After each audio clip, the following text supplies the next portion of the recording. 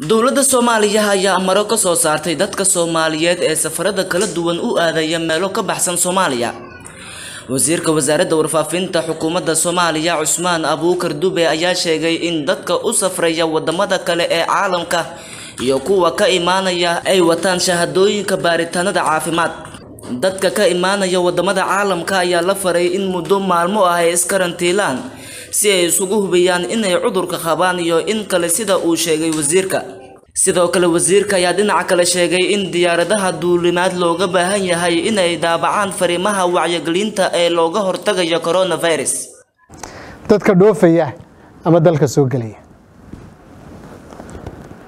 xukuumaddu waxay ka soo saartay go'aamada.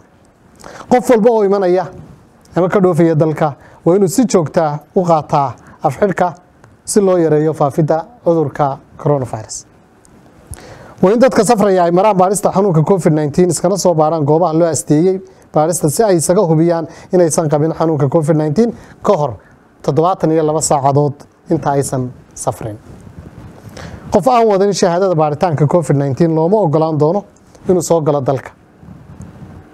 Qof aan sidan negative covid nteen certificate waxaana waajib ah qofku inuu wato shahaado soo baxday muddo toddobaatan iyo laba saacadood gudahooda.